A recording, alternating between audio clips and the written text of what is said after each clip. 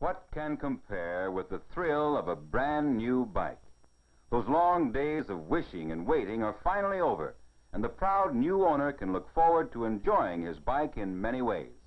If you want to do tricks like these, stay out of the street.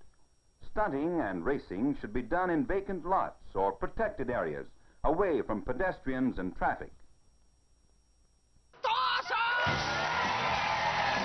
too much speed makes your bike harder to control and is especially dangerous when riding down a steep hill.